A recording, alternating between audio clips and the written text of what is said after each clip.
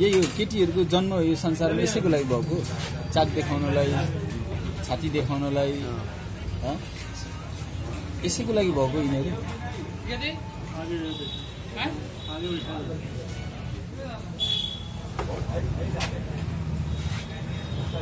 हामी मनोरञ्जनको साधन हो भनेर आफै प्रस्तुति देखाइरहेछन् आफै त देखाइरहेको छ।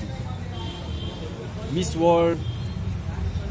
Miss Nepalgunj miss Nepal miss Nepalgunj अरे यार मिस नेपालगञ्ज हुनलाई गोरी केटी हुनुपर्ने रे साढे पाँच फिटको हुनुपर्ने रे नाच्न आउनुपर्ने रे आवाज मिठो हुनुपर्ने रे यही हो यार।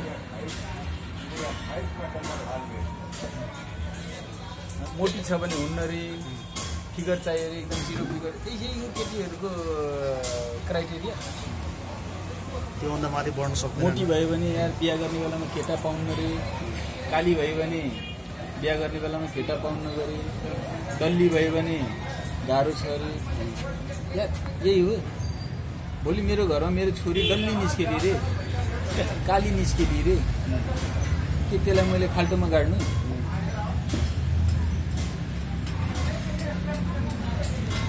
यो केटीहरूले कहिले बुझ्ने यो कुरा भने मिस नेपालगञ्ज जस्तो भागमा भाग नलिनु नि। अथवा लिने नै हो भने कालीलाई पनि लिनु पर्यो। मोटीलाई पनि लिनु पर्यो। दाँत टिङ्रिङ्ग निस्केको छ त्यसलाई पनि लिनु पर्यो।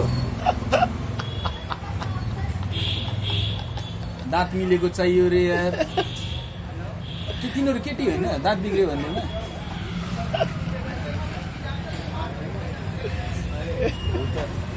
केटीहरूले पनि बुझ्नु पर्यो कि यो कुरा? कहिले बुझ्ने केटीहरूले राम्री केटीहरूको लागि मात्र हो यो संसार? साढे पाँच फिट भएका केटीहरूको लागि मात्र हो यो संसार। कोरी केटीहरूको लागि मात्र हो यो संसार। कि के हो?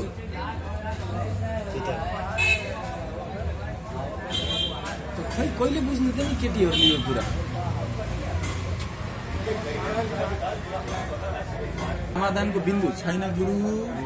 पृथ्वी बनाउनु पर्छ यो सम्भव छैन।